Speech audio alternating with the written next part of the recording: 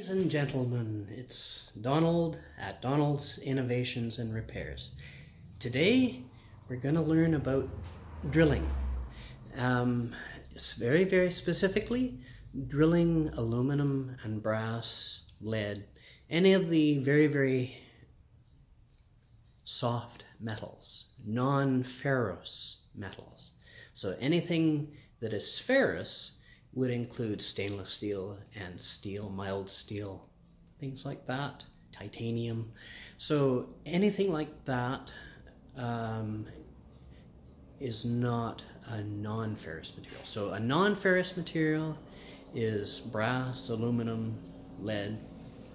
So when drilling, you have to think of safety. And you have to think of drill bit geometry. Now, you can't just use an ordinary drill bit on non-ferrous materials or brass or copper.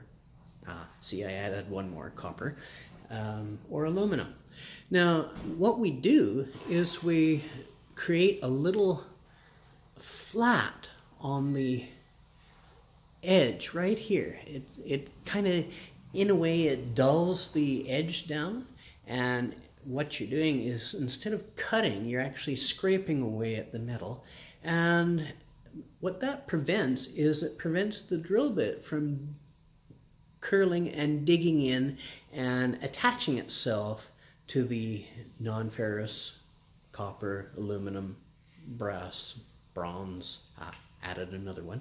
Um, it, what happens is it catches and if your material isn't clamped properly in the drill press, it will start swinging the whole plate around and that's not good for your hands, your face, or anything like that should it actually zip off and uh, find its way into your neck or, or some other body part. So, I'm going to show you how we modify this drill bit and it's a very simple, quick little touch of the belt sander onto the edge of the cutting edge. And so we'll get our PPE, our personal protective equipment on. And it takes a little bit of time, but safety, okay? So one second. First off, get the old respirator on.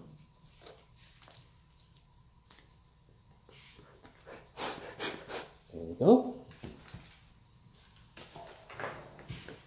Get the old get the old face shield on, get some hearing protection on. Shields, whoops. Mask on, shields down, and away we go. We turn the machine on.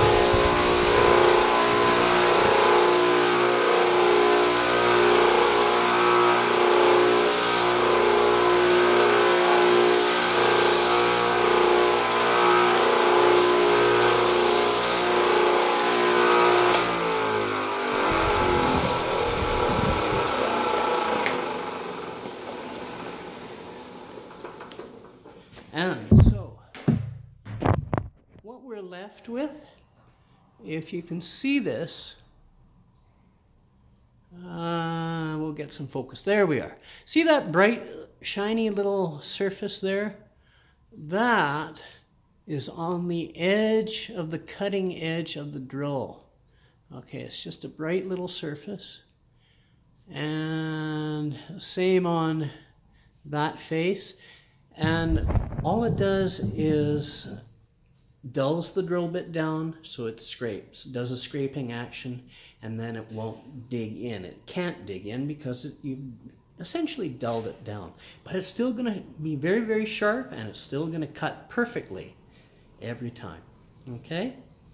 That is how you modify your drill bit for drilling copper, bronze, brass, aluminum, and lead okay? Non-ferrous materials.